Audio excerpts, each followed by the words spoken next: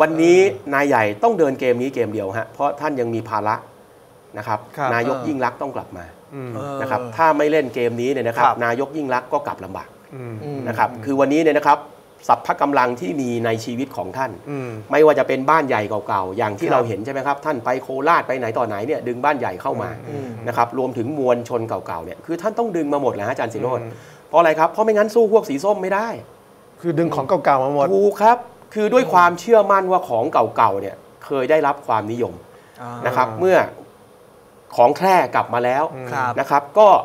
กลับมาทวงบัลลังก์คืนครับเออแต่ผมก็ต้องเรียนนะครับว่าความคิดแบบนี้นะครับ ก็มักจะเกิดขึ้นกับคนที่สูงอายุนั่นแหละอืมคนสูงวัยอืมเออนะครับก็คือการย้อนนึกถึงความรุ่งเรืองครับในอดีตครับนะครับ ซึ่งวันนี้สภาพการมันเปลี่ยนไปหมดแล้วอืมเออนะครับใช่อะใช่อันนี้ก็ต้องเรียนกันตามตรงนะครับว่า นักวิชาการหลายคนเนี่ยนะครับถึงได้พูดตรงกันรวมทั้งผมด้วยนะครับ บอกว่าเราเข้าใจว่าเพื่อไทยต้องเดินเกมแบบนี้แหละ แต่ไม่มีใครสักคนหนึ่งเลยที่บอกว่าวิธีการเดินเกมอย่างนี้เนี่ยมันจะตอบโจทย์กับ FC ที่มันเปลี่ยนไปแล้วอืมนะครับอืมเงื่อนไขสังคมปัญหาก็เปลี่ยนไปหมดแล้วอืมอืมนะครับเราลองคิดดูว่าอาจารย์สิโรธก็เห็น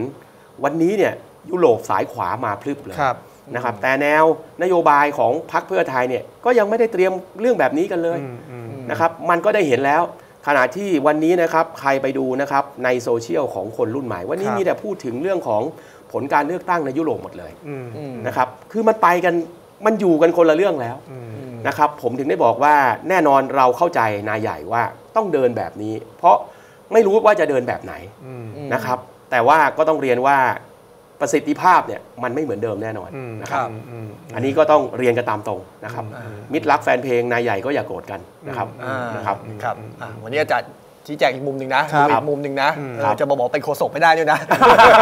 จะเห็นว่ามันมีทั้งข้อมันมีทั้งมุมที่ครับ เป็นข้อที่ไม่ได้ดีกับนายใหญ่ใช่ครับเออในใช่สิ่งครับที่ทำอยู่ แล้วสิ่งที่กำลังทำอยู่อาจารย์สิโรธก็เห็นการปรากฏตัวของคุณสมชายวงศ์สวัสดิ์อ่าอ่านี่ก็คือโมเดลที่เมื่อ 20 กว่าปีก่อนอ่าผมก็เคยเป็นครับอ่ากลไกเล็กอืมๆในการเข้าไปบริหารจัดการสภาสูงครับนะครับแน่นอนเป้าหมายของท่านนายกสมชายเนี่ยท่านคงไม่ได้อยากเข้ามาเป็นสวเปล่าครับๆแน่นอนว่าต้องเล็งไปถึงตำแหน่งประธานวุฒิสภาครับอืมนะครับ ลำพังคุณสมชายลงคนเดียวฮะอาจารย์สิโรธอืมผมก็ยังรู้สึกว่าเออเฮ้ยมันอาจจะมีอ่าอุปสรรคนะอืมแต่พอหันไปมองที่มหาสารคาม เห็นครับชื่อคุณศรีเมืองเจริญสิริอ่าโอ้โห เมื่อ 20 กว่าปีก่อน อาจารย์สิโรธก็นี่ตามรุ่นข่าวปู่การทั้งนั้นเลยนะครับเนี่ยอาถูจากรย์ครับ คุณศรีเมืองเจริญสิรินี่ต้องบอกว่าสายตรงจันทร์สองล่าของาแพร่ใช่ นะครับเราลองคิดดูว่าคุณสมชายวังบัวบานอืมนะครับเมื่อมาผนวกกับคุณศรีเมืองจันทร์สองล่า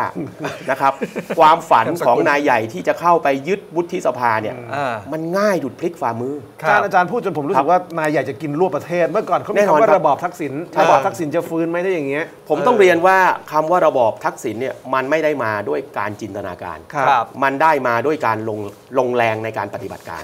วันนี้นายใหญ่ก็ลงแรงในการปฏิบัติการจริงๆครับหลายท่านนะครับอาจจะอาจจะพอทราบกันบ้างแล้ว แต่หลายท่านที่ยังไม่ทราบผมก็บอกก่อนว่าอืมวันนี้เนี่ยนะครับแม้กระทั่งสสในพักนะครับ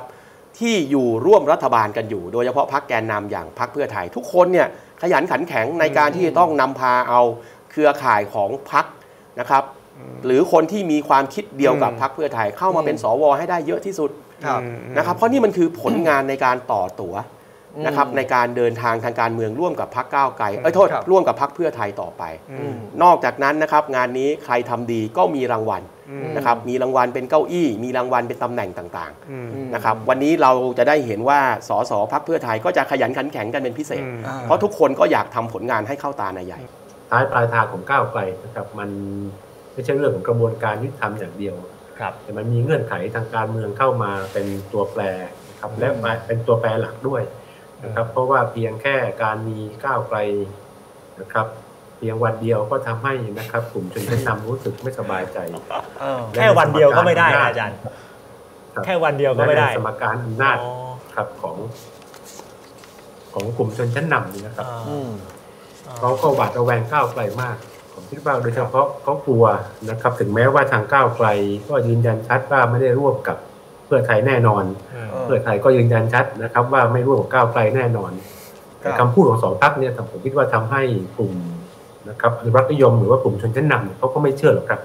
เพราะฉะนั้นการมีอยู่ของก้าวไกลคือความหวาดระแวง ในขณะที่ไม่รู้ว่าเพื่อไทยคุณทักษิณจะเอายังไงก็ต้องจัดการสิ่งที่ตัวเองคิดว่าเป็นความหวาดระแวงเอาไว้ก่อนเพราะอย่างน้อยนะครับ ถ้าก้าวไกลแตกเมื่อไหร่นะหลายคนบอกว่าก้าวไกลไม่มีงูเห่า ประเมินอย่างนั้นก็ได้นะถ้าดูจากอุดมการณ์จุดยืนนะครับ และประสบการณ์ที่ผ่านมา แต่สำหรับผมมองว่าไม่แน่นะครับ เพราะว่าก้าวไกลร้อยห้าสิบคนเนี่ยนะเราไม่รู้ว่าใครนะครับพอถึงจุดหนึ่งแล้ว ประเมินอนาคตทางการเมืองตัวเองนะครับ กับอามิตสินจ้างนะครับ ที่เห็นแล้วว่าอนาคตเนี่ยไม่รู้ว่าจะได้ลงรับสมัครหรือเปล่าครับระยะเวลาที่ผ่านมานะครับ ปีเศษๆนะครับ ตัวเองก็ไม่ได้แสดงบทบาทอะไรที่มันโดดเด่นอืม สามงานในพื้นที่ก็อาจจะไม่ได้ลงอย่างเข้มข้น ถ้ามีอามิตสินจ้างมาเนี่ยครับก็อาจจะตัดสินใจก็ได้ ซึ่งอันเนี้ยผมคิดว่ามันก็ทำให้นะครับสถานการณ์ทางการเมืองก็มีความจำเป็นนะครับที่จะต้องนะครับกำจัดก้าวไกลออกไปจากนะครับ หน้ากระดานหน้าก่อนนะครับเขาไม่ได้คิดยาวอย่างที่พิติตบอกนะเขาคิดระยะสั้นนะเขาคิดเพียงแค่ระยะสั้นนะครับ ระยะยาวเขาเขาไปแก้เอาข้างหน้านะครับด้วยกลไกวิธีการต่างๆ ครับครับอาจารย์แสดงว่าอนุรักษ์นิยมที่เขากลัวก้าวไกลมากกว่ากลัวคุณทักษิณนะครับเพราะหลายคนบอกว่าเพราะหลายคนบอกว่าเอาสุดท้ายเนี่ยถ้าเอาก้าวไกลไปคุณทักษิณนี่อื้อหือสตรองแข็งแรงฟู่ฟ้าเลยนะฮะใช่ครับ เพราะว่าผมคิดว่าด้านหนึ่งจุดยืนบางอย่างของนะครับอำนาจเก่ารัฐนิยมกับคุณทักษิณมันลงตัวกันในแง่ของความเป็นนะครับนักธุรกิจการเมืองนะครับที่ไม่ได้มีอุดมการณ์อะไรมากไปกว่าเรื่องของอุดมสมบูรณ์ ตกลงผลประโยชน์กันได้นะครับ จัดสรรตำแหน่งแห่งที่ก็ก็ลงตัว แต่ของก้าวไกลข้อเสนอของเขา มันเป็นข้อเสนอในการเปลี่ยนแปลงเชิงโครงสร้าง และการเปลี่ยนแปลงเชิงโครงสร้างหลาย ๆ อย่างนั้นมันไปกระทบกับนะครับผลประโยชน์ของกลุ่มชนชั้นนำหลายฝ่ายมาก ในสังคมไทย แล้วบวกกับนะครับ ถ้าเราดูแล้วนะฮะก้าวไกลเนี่ยมันมีโอกาสในการสะสมนะครับความศรัทธาในอนาคตได้มากนะครับด้านหนึ่งนะครับผลพวงตั้งแต่การยุบพักอนาคตใหม่ มาถึงปัจจุบันเนี่ยมันก็สะสมความรู้สึกไม่พอใจใช่การตั้งคำถามกับประชาชนนะครับ บวกกับคนรุ่นใหม่นะครับ ที่เติมเข้ามานะครับ ทุกระยะและที่สำคัญผมคิดว่าปัจจัยหลักๆ ก็คือ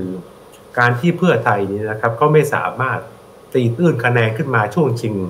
นะครับ คะแนนจากก้าวไกลได้เลยสิบเดือนนี้เราไม่เห็นผลงานเลย โพลต่างๆของก้าวไกลนี่นะครับ ก็คือพูดง่ายๆว่าตกต่ำอย่างต่อเนื่อง ตกต่ำแบบไม่พอเพียงเลย ตกต่ำแบบไม่นะครับ ไม่มีความเต็มที่เลยนะคะแนนนิยมของคุณเศรษฐาก็ดีคะแนนนิยมของคุณอุ้งอิงก็ดีนะครับไปไม่กลับนะครับ หลับไม่ตื่นฟื้นไม่มีทุกคน ตัวละครตัวแสดงในพรรคก้าวไกลไม่เหลือแล้วนะเหรือเฉพาะคุณทักษิณเพื่อไทยเพื่อไทยครับเพื่อไทยแล้วเอาตัวทีต้องช่วยไทยครับแล้วปรากฏว่า สิ่งที่คุณทักษิณทำเนี่ยนะครับ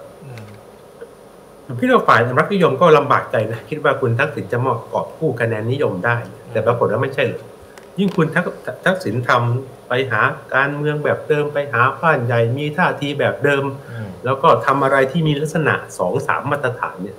สิ่งเหล่านี้มันยิ่งทำให้คะแนนนิยมนะครับของคนที่อาจจะเคยรักคุณทักษิณ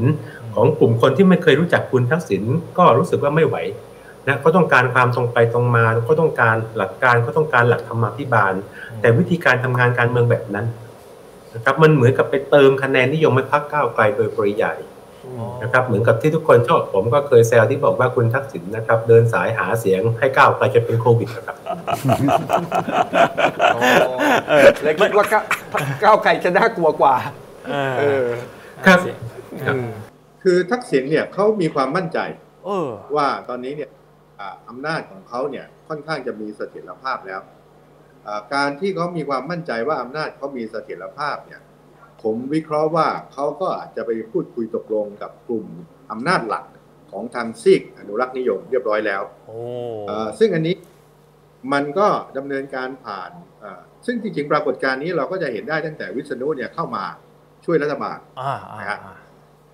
อ่าหลังจากนั้นเป็นต้นมาเนี่ยก็คิดว่าคงจะมีการเจรจากันและคิดว่าคงจะได้รับความมั่นใจ จากกลุ่มอำนาจกระแสหลักในปีกอนุรักษ์อืมทีนี้เมื่อเป็นเช่นนั้นเนี่ยเขาก็คราวนี้ก็ไม่กลัวแล้ว เพราะว่าคุณประวิทย์เนี่ย ถือว่าเป็นกลุ่มอำนาจรองนะอ่าซึ่งก็พลังอำนาจนี้เนี่ย ก็ถดถอยลงไปทุกวันทุกวัน เพียงแต่ว่าเอ่อแกก็ยังมีเอ่ออิทธิฤทธิ์อยู่ในบางระดับ เพราะว่ายังมีสวที่อยู่ในสังกัดอยู่จำนวนไม่น้อยที่จะพร้อมที่จะทำงานให้ แล้วกรณีการยื่นเอ่อ สารรฐธรรมนูญเรื่องของคุณเศรษฐาเนี่ยก็เป็นกรณีหนึ่งครับ แล้วจริงๆแล้วเนี่ยเอ่อการยื่นในลักษณะนั้นเนี่ยก็มุ่งหวังที่จะก่อให้เกิดการเปลี่ยนแปลงรัฐบาลนั่นแหละเพื่อสร้างโอกาสให้กับตัวเองอืมส่วนจะได้หรือไม่ได้นั้นอีกเรื่องหนึ่งนะครับ แต่ว่าก็เขย่าไว้ก่อน ทีนี้เนี่ยคุณทักษิณก็ไม่กลัว เพราะว่าเอ่อทางปีกของเอ่ออนุรักษ์นิยมกระแสหลักเนี่ยครับเขาก็ มองภาพการเมืองเนี่ยในภาพระดับมหาภาค แล้วก็อาจจะยังคิดว่าพรรคเพื่อไทยเนี่ยมันก็ยังเป็นกลไกหรือว่าเป็นเครื่องมืออาที่อาจจะมีประสิทธิภาพมากที่สุดในบรรดาเครื่องมือที่เขามีอยู่ในขณะนี้ ที่นอกเหนือจากองค์กรอิสระนะครับ คือในบรรดาพรรคการเมืองทั้งหลายเนี่ยก็ถือว่าพรรคก้าวไกลนั้นเออโทษพรรคเพื่อไทยนั้นเนี่ยก็เป็นพรรคที่พอมีศักยภาพที่จะสู้กับพรรคก้าวไกลในระยะเอ่อ ในการเลือกตั้งครั้งหน้าได้ เพราะฉะนั้นเนี่ยก็จำเป็นที่จะต้องหนุนหรือว่าเอ่อสร้างความมั่นคงให้กับสถานะของคุณทักษิณในฐานะที่เป็นเครื่องมือทางการเมืองอันหนึ่งนะครับ ส่วนทางเอ่อพลเอกประวิตยซึ่งเขาก็มีเป้าหมายไม่ได้มีอะไรซับซ้อนนะพลเอกประวิตยเนี่ยใครก็อ่านออกว่าก็คืออยากดำรงตำแหน่งนายกรัฐมนตรีสักครั้งหนึ่งหรือไม่ก็อาจจะถูกคนรอบข้างเนี่ย ก็เป่าหูนะ ทำให้เกิดความหวังอะไรต่างๆขึ้นมาอืมนะครับ แล้วก็ต้องทำทราบไปนะครับเอ่ออันนี้ก็คือเขาเขาหวังระยะสั้นเท่านั้นอืมแต่ว่าสิ่งอันหนึ่งที่จะผสมกันตรงนี้นะคุณด็อกก็คือว่าครับกรณีของของทางสว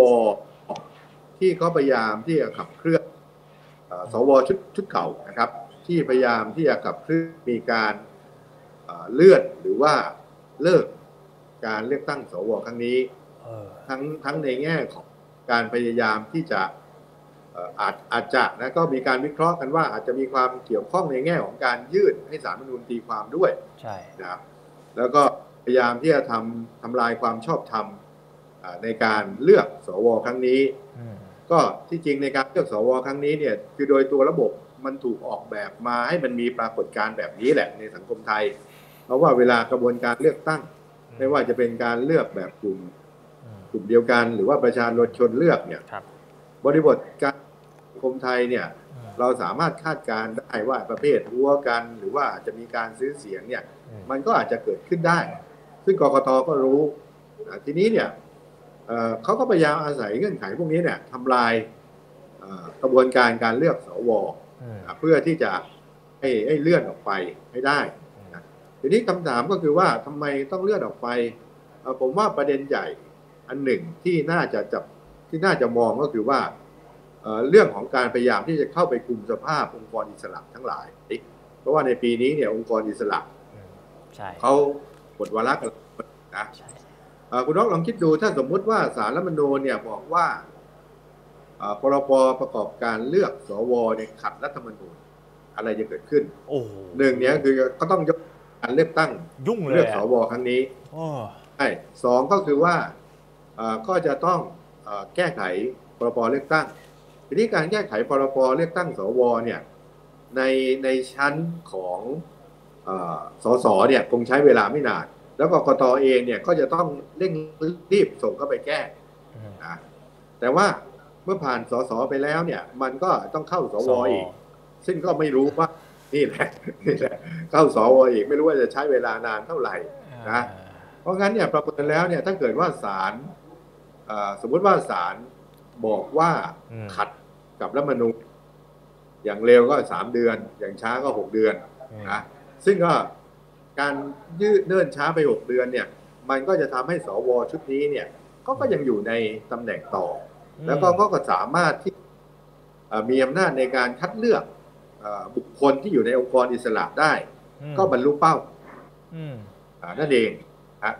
อันนี้ก็คือเป็นเรื่องที่มันเอ่อสามเรื่องที่เป็นที่ที่กลุ่มอนุรักษ์นิยมเนี่ยสามเรื่องสามส่วนเอออ่าที่กำลังขับตอนนี้นะครับครับข้ามไปที่คุณทักษิณเลย คือเราเห็นซึ่งมันจะโอ้ข้ามใกล้มากเลยค่ะ เรื่องต่อเนื่องมากมันเลยนิดนึงมันมันมันจะโยงกับมันจะโยงกับสภาวะการเมืองตอนนี้ด้วย แล้วมันจะโยงกับอนาคตของก้าวไกลหรือพรรคใหม่ก็ก็ตามแต่เนี่ยครับแต่ว่าปฏิเสธไม่ได้ว่าคุณทักษิณเป็นปัจจัยหนึ่งที่มองข้ามไม่ได้ และตอนนี้โอ้โหตั้งแต่เชียงใหม่ไล่มาภูเก็ตภูเก็ตเอ่อไล่มาโคราช ไล่มาปทุมล่าสุดนนทบุรีบอกว่ากลับมาอยู่กับเราเถอะเอาคืนเอ่อเดี๋ยวจะเอาคืนให้อะไรประมาณอย่างเงี้ยในสถานะของคนที่หนึ่งติดตามการเมืองมาสองเอ่อ สู้กันมาตั้งแต่อนาคตใหม่สามตอนนี้ก็อาจจะเป็นผู้เฝ้ามองทางการเมืองเนี่ยมองมองสภาวะของคุณทักษิณอย่างไรจะจะสิ่งที่คุณทักษิณพูดจะเกิดขึ้นจริงไหมกลับมา ดิฉันคิดว่าในแง่หนึ่งเนี่ยเรามองดิฉันไม่ได้เป็นผู้เฝ้ามองเนาะดิฉันเป็นผู้เล่นทางการโอเคอ่าโอเคเพราะฉะนั้นโอเคเอ่อคำพูดของดิฉันเนี่ยเป็นผู้มีส่วนได้ส่วนเสียแน่นอน เพราะฉะนั้นโอเคท่านต้องใช้วิจารณญาณในการรับฟังนะคะอืมแต่ดิฉันจะบอกแบบนี้จริงๆเอ่อ ตอนที่ดิฉันเห็นข่าวเนี่ยดิฉันตกใจมากเลยว่าโอ้คุณทักษิณพูดแบบนี้ ดิฉันเป็นห่วงนะ เพราะว่าเมื่อไหร่ก็ตามที่คุณมองประชาชนเป็นของตาย เป็นสิ่งที่คุณจะสามารถเอาไปเรียกคืนกลับมาได้เนี่ยมันเป็นการเมืองเหมือนเมื่อ 20-30 ปีที่แล้วจะว่าไปก็คือยุคที่คุณทักษิณรุ่งเรืองเนาะโอเคซึ่งในปัจจุบันนี้เนี่ยพรรคการเมืองที่มองประชาชนเป็นของตาย คนที่ตายคนแรกคือพรรคนะคะอ่าอ่า ประชาชนไม่ใช่ของตาย ไม่ใช่ว่าเขาเลือกคุณในวันนี้ แล้วพรุ่งนี้เขาจะเลือกคุณ วันนี้เขาเลือกก้าวไกลเขาเป็นสมาชิกตลอดชีพรักมากรักพิธาอยากให้พิธาเป็นนายก ชอบธนาธรมากไปดู breaking the cycle สามรอบแล้ว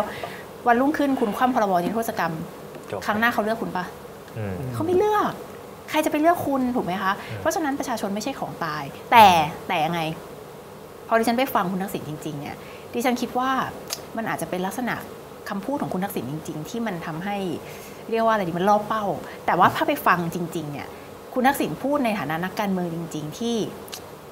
สมรภูมินี้มันเคยเป็นเราที่ชนะ เพราะฉะนั้นอ่าครั้งหน้าเนี่ยเราจะต้องเอากลับคืนมาให้ได้ในแง่ครัที่บว่าต้องชนะ ซึ่งไม่แปลก ซึ่งไม่แปลก็กเป็นเรื่องปกติสำหรับเขาก็พรรคต้องการเมืองที่ต้องอ่าแข่งขันกันนะคะ แต่ทีนี้พอคุณทักษิณไปพูดในลักษณะว่าที่นี่เคยเป็นของเราทั้งจังหวัดมีคนมาเอาไปเราต้องเอากลับคืนเนี่ยครับมันทำให้ดิฉันคิดว่าคุณทักษิณอาจจะห่างหายจากการเมืองไทยไปนานจนจนรู้สึกว่าประเทศไทยในวันนี้คือประเทศไทยในปี 2540อ่า ซึ่งประเทศไทยในปี 2567 เนี่ยไม่ใช่ประเทศไทยในปี 2540 ประชาชนอาจจะมีความรู้สึกต่อคำพูดเดียวกันของคุณทักษิณเมื่อ 20 กว่าปีที่แล้วกับปัจจุบันนี้ต่างไปอย่างสิ้นเชิงอืมแต่ถามว่าคุณทักษิณตั้งใจไหมดิฉันคิดว่าคุณทักษิณพูดในฐานะนักการเมืองปกติเลย ก็คือครับว่าก็คิดว่าเอ้ยเฮ้ยเราแพ้นะครั้งเนี้ยครั้งหน้าเราต้องกลับมาชนะให้ได้ ซึ่งเป็นเรื่องปกติของพรรคการเมืองใช่ไหมใช่คะใช่ใช่ใช่เอ่อดิฉันยังคิดว่าเรื่องนี้เนี่ยนอกเหนือจากสารัฐะแล้วเนี่ยดิฉันคิดว่าอาจจะสะท้อนถึง ถึงปัญหาที่เกิดขึ้นจากการห่างหายจากประเทศไทยไปนานของคุณทักษิณก็เป็นไปได้อืมอืมครับครับผมมองบกฮะบกถ้ามองในมุมมองของพรรคคนครับอ่าอ่าอย่างเพื่อไทยซึ่งโอเคแหละคุณทักษิณเป็นหนึ่งในความเคลื่อนไหวซึ่งเขาบอกว่ามันไม่เกี่ยวกันครับมันมันมันแยกกันเดินกัน การเคลื่อนไหวของเพื่อไทยเองการเคลื่อนไหวของคุณทักษิณเองสุดท้ายแล้วเนี่ยสิ่งที่เกิดขึ้น 4 ปี 3 ปีข้างหน้าเนี่ยมันจะทำให้เพื่อไทยสามารถกลับมาได้เก้าอี้กลับมาเอ่อได้คะแนนเสียง เหมือนเช่นที่ผ่านมาได้ไหม โอเคผมผมผมอาจจะมองการเคลื่อนไหวคุณทักษิณนี้แตกต่างไปจากหน้าสื่อนะผมอืมคิดว่าแกเดินเช็ค เช็คคะแนนนิยมนะครับ ลงพื้นที่ไปเช็คนะครับ แกยังไม่ได้ถึงขนาดออกอาวุธที่ในลักษณะที่เรียกว่าจะเปิดปฏิบัติการที่จะเรียกดึงคะแนนหรือการเขาเรียกสู้รบทางการเมืองนะอืมภาษาที่แกใช้นี่ยังเป็นภาษาที่เบามากออดอ้อนนะครับเอ่อ ผมผมมองว่านี้อาจจะเป็นการเดินสายเช็ค เพื่อที่จะตัดสินใจบางอย่างนะครับผมผมผมมีความเชื่อส่วนตัวนะครับว่าคุณทักษิณเนี่ยจะแกจะประเมินได้นะครับว่าสถานการณ์ที่แท้จริงทางการเมืองของพรรคเพื่อไทยเป็นยังไงนะครับและเมื่อแกได้ตัวเลขที่ถูกต้องเป็นจริงที่สุดแล้วนะครับ แกก็จะประเมินได้ว่าเกมโดยสถานการณ์นั้นเนี่ยแกจะเดินเดินการเมืองยังไงต่ออนะครับ ชั่วโมงนี้ผมมองผมผมมองคุณทักษิณเป็นการไปเช็ค เดินสายเช็คเรตติ้ง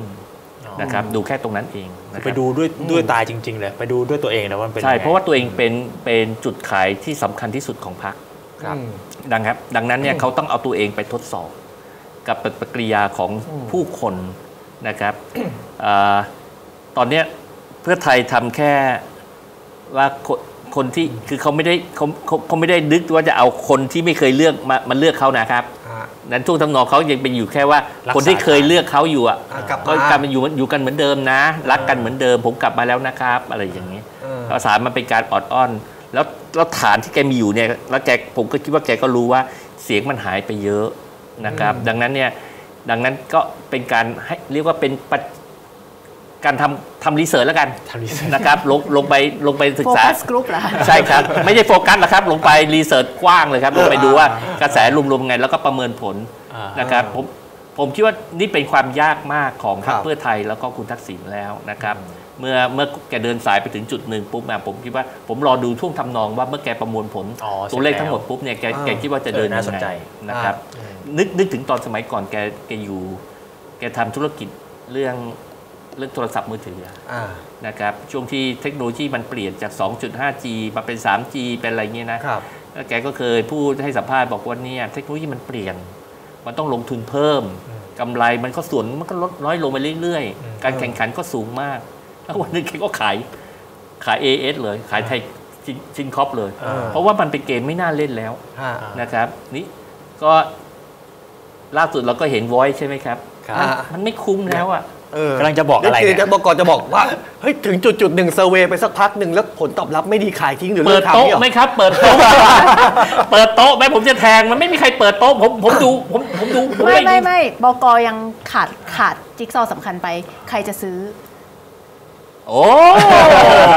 คืออันนี้ปัญหาใหญ่นะไม่ไม่ไม่ไม่ไม่ไม่ไม่มันผมผมผมคิดว่ามันผม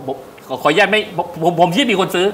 นะครับ แต่ว่าซื้อในราคาไหนก็อีกเรื่องหนึ่งนะครับอ่าเอ่อซื้อในราคาไหนก็เรื่องหนึ่งความรุ่งมันมันมันไม่ใช่ช่วงที่รุ่งโรจน์แล้วฮะนะครับเอ่ออ่าครับถึงถึงที่สุดแล้วผมคิดว่าในถ้าประเมินแล้วใช่ไหมผมผมคิดว่าคุณทักษิณจะเอาจริงว่าเอางี้เดี๋ยวไม่ไม่มีไม่มีคุณทักษิณหรือไม่มีเพื่อไทยในการเลือกตั้งหลังปี70ฮะละละคือหมายว่าการเลือกตั้งในข้างหน้าเนี่ย ใช่ไหมครับอาจ อาจจะมีเพื่อไทยลงแข่งขันอยู่ อืมแต่ว่าหลังจากนั้นอะ ในเลือกตั้งครั้งถัดไปหลัง 70จะไม่มีโอ้นะนะผมผมผมเห็นภาพแบบนั้นนะ แต่ว่าโอ้แต่แต่ว่ามันอาจจะมาเร็วกว่านั้นเลยนะ ผมหมายความว่าหากคะแนนนิยมมาไม่ถึงอะมาไม่ได้แล้วไปไม่ได้ ซึ่งซึ่งตอนนี้สิ่งที่เขาทำก็คือ เป็นทางเป็นไปได้เป็นไปได้ทางเดียวเลยนะครับ ที่พรรคเพื่อไทยจะรักษาขนาดไว้ได้เนี่ยก็คือการควบรวม ควบรวมพรรคธนมิตร ใช่แต่นี่คุณไปควบรวมพักใครครับ ใครจะควบใครครับ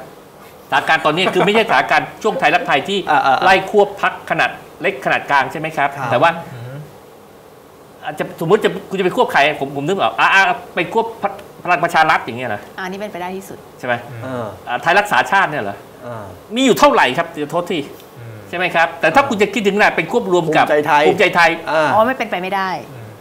มันตัวเขาใหญ่กว่า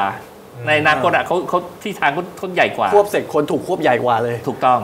ถูกต้อง ดังนั้นมันน่าคิดเป็นเป็นได้แค่นั้น แต่ว่าถ้าคุณควบได้แค่พลังประชารัฐรวมไทยสร้างชาติมันแล้วมันใหญ่ยังไงครับมันมันจะต่อรองยังก็ไม่มีดังนั้นอ่าในมุมมองผมนะโอเคผมผมคิดว่าเรื่องนี้ ไม่ไม่มีอะไรครับผมว่าข้างข้างหน้าก็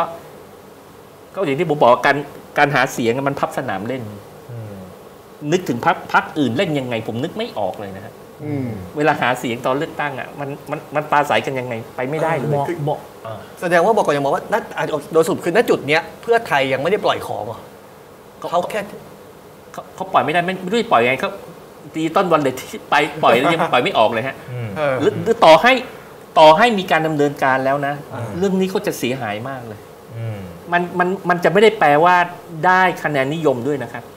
บอกไม่ได้ชัด ๆ ว่าจะได้คะแนนนิยมอืม นะครับแล้วยังไม่รวมถึงการบริหารต่อเนื่องมาอีกอีกอีกอีกสามปีว่าจะเป็นยังไงชะตากรรมของของคุณเศรษฐาจะเป็นยังไง จะเป็นยังไงต่อโอ้โหมันเอ่อสถานะผมอยากจะบอกว่าสถานการณ์ของก้าวไกลกับเพื่อไทยไม่ผมไม่รู้ว่าใครหนักกว่าใครด้วยนะอ้าวห่างกันมันจะห่างกันขนาดไหนหรือเปล่าเนี่ยผมอ้าวคือหนักคนละแบบใช่ไหมคือในระยะสั้นเนี่ยอ่าพักพักพักก้าวไกลก็อาจจะเรียกว่า โดนโดนโดนโดนโดนโดนจัดการก่อนนะครับอืมแต่ว่าในการเลือกตั้งข้างหน้าเนี่ยพักกลับเป็นพักเพื่อไทยที่จะโดนจัดการ เราเห็นใช่ภาพคุณทักษิณไปประกาศทวงคืนเก้าอี้ อ่าตรงในนั้นหลายตรงนี้จังหวัดอืมเชียงใหม่บ้าง อืม ไปภูเก็ตไปโคราชปทุมล่าสุดนนทบุรี การเคลื่อนไหวของเพื่อไทยการเคลื่อนไหวของรัฐบาลเองที่เหมือนจะว่าจะส่งก็ไม่ใช่นะเขาไปของเขาเองนะที่เขาว่าเขาไปเองไปประกาศทวงคืนเก้าอี้แบบนี้สุดท้าย มันจะทำให้ เพื่อไทยเองในครั้งหน้าจะสามารถได้กลับมาฟื้นฟูเหมือนสมัยไทยรัฐไทยไหมเอ่อถ้าจริงๆสองปัจจัยนะคะอ่าอันที่หนึ่งก็คือว่าผลงานนะถ้าผลงานยังอยู่ในอัตราแบบนี้ ก็ก็อาจจะลำบาก เพราะครับว่าเอ่อมันไม่ได้แก้ปัญหาปากท้องเลย มันเป็น big project ที่ไม่รู้ใครได้ประโยชน์นะคะอ่าคนทำมาหากินไม่ได้ประโยชน์ ชาวบ้านไม่ได้ประโยชน์นะคะ อันที่สองก็คืออ่าเรื่องของจุดยืนทางการเมือง พอเปลี่ยนขั้วสลับข้างจากความเป็น leader สมัยที่ไทยรักไทยหรือสมัยที่หน่อยอยู่เนี่ยมันเป็น leader ด้านประชาธิปไตย ครับแต่วันนี้คุณการเปลี่ยนขั้วสลับข้างแบบนี้เนี่ยเอ่อแล้วแล้วต้องบอกว่าโหวตเตอร์หรือหรือประชาชนเนี่ยเขาเขาเป็นคนที่หนึ่งเขาฉลาดสอง เขายังมองถึงความความดีงามอะความมีคุณธรรมอะอืมก็คือความผิดความถูกเอางี้ดีกว่าอืมศีลธรรมมันยังอยู่ในในใจของของของคนไทยเรื่องลึกคุๆณอยู่ทักษิณโดนรังแกเรื่องคุณธรรมอ่าตอนนั้นคุณทักษิณโดนรังแกเขาเห็นใจคุณทักษิณครับถูกไหมแต่พอมาวันนี้เนี่ยมันเรื่องของสองมาตรฐานอืมอ่าเรื่องของกฎหมายที่ไม่เป็นกฎหมาย เรื่องของเออการคอร์รัปชัน เรื่องของการสลับขั้วเรื่องของการไม่ทำตามสัญญาที่เคยพูดไว้ตอนหาเสียง แล้วบอกว่าเป็นเทคนิคการหาเสียงอย่างเงี้ยพวกเนี้ยมันเป็นอีกปัจจัยที่สองที่ทำให้คะแนนเนี่ยมันไม่เพิ่มอืมอืมอืมแล้วยิ่งไม่มีผลงานคะแนนก็จะมีแต่ลดฮะอ่าการการการลงพื้นที่ไปของคุณทักษิณในการไปหาพี่น้องเสื้อแดงประกาศกลับมารักกันเถอะกลับมาคุยกันเถอะแบบนี้เนี่ย เอาจริงในเชิงของการหาเสียงหรือว่าการหาคะแนนเนี่ยมันได้ผลจริงไหมก็จะได้ผลจากคนที่ยังรักท่านรักอ่าพักเพื่อไทยอย่างแบบแฟนคลับเลยเนี่ยก็จะจะรักษาฐานแฟนคลับที่เป็นแฟนคลับตัวยงเนี่ยอ่าได้นะคะประมาณแต่ว่ากี่คนนะครับถ้าให้ประมาณประมาณไหนสงสัยคือ 10 ล้านเสียงใช่ไหมครั้งครับที่แล้วค่ะ10 ล้านเสียงจากการข้ามขั้วจากผลงานที่ยังไม่ชัดเนี่ยนะจนเนี้ยเอ่อ แค่รักษา 10 ล้านเสียงให้ได้เนี่ยก็ลำบากแล้ว ดังนั้นเนี่ยจึงต้องเปลี่ยนยุทธวิธีไงคะ ไปเอาบ้านใหญ่อืมจากพักต่างๆเนี่ยมารวมอืมมารวมเพื่อให้คะแนนได้ชนะก้าวไกลอ่าอ่าแล้วอย่างนี้สูตรของของเพื่อไทยและคุณทักษิณในอนาคตคือ ไปไล่ดูดพวกนักการเมืองรุ่นรุ่น รุ่นเก่า รุ่นรุ่นปีเอ่อปี 40 20 ปีที่แล้วรุ่นรุ่นเก่าบ้านใหญ่อ่ามาอยู่กับเพื่อไทยเพื่อเอาชนะก้าวไกลคือคือมันไม่ใช่แผนหรอกวันนี้ที่เราเห็นอยู่อะก็คือเราพูดตามแฟกต์ที่ครับเราเห็นอยู่ณปัจจุบัน เพราะว่าหนึ่งก็คือพอการข้ามขั้วเนี่ยคือคนคนไทยเนี่ยยังรักความเป็นธรรมแล้วก็ผิดเป็นครับผิดถูกเป็นถูกอยู่นะคะ คือถ้าเราทำถูกเป็นผิดผิดเป็นถูกอย่างเงี้ยมัน คนเริ่มไม่รับละอ่าดังนั้นเนี่ยตรงเนี้ยก็ทำให้เสียคะแนนเราพูดกันตามแฟกต์นะคะเราเสียคะแนนลงผลงานปากท้องมันไม่ดีขึ้น มันไม่ได้เหมือนกับสมัยไทยรักไทยเอ่อเพิ่มรายได้ลดรายจ่ายมันไม่มีนะเอ่อไม่ถึงประชาชน และมีแต่บิ๊กโปรเจกต์ที่คนจับต้องไม่ได้นะอืมพอเป็นอย่างนี้เนี่ยคะแนนรักษา 10 คะแนนเอ่อ10 ล้านเสียงเนี่ยมันก็อาจจะลำบาก ดังนั้นจึงต้องไปอาศัยเห็นไหมที่ไปแต่ละจุดนี่ก็คือไปบ้านใหญ่ใช่ไหมคะอันนี้ก็คือยุทธศาสตร์ใหม่ที่ที่เพื่อไทยต้องแก้เกมเอาบ้านใหญ่เข้ามา เพื่อให้ได้คะแนนสอสอพื้นที่ครับให้มากครัสบอสอเขตอะเพื่อให้มาก แสดงว่าตอนนี้เขาจะเน้นไปที่ 400 โดยที่น่าจะน่า100จะอาจจะคิดว่ายังไงก็ไม่สามารถสู้ก้าวไกลได้ น่าจะน่าจะอย่างนั้น ถ้าดูถ้าดูจากการกระทำนั้นนี่เราวิเคราะห์จากการกับแผนที่เขาเดินอยู่ครับเนี่ยนะคะ แล้วในอนาคตคุณทักษิณจะเคลื่อนไหวแรงกว่านี้ไหมเพราะตอนนี้ขึ้นเวทีแล้วนะครับ มันน่าจะแรงขึ้นจับไมค์แล้วน่าจะคือแรงขึ้นคือจะไปได้แรงขนาดไหนตอนโอ้นี้รับรองเลยขึ้นปราศัยเองแน่นอนปราศัยเองแน่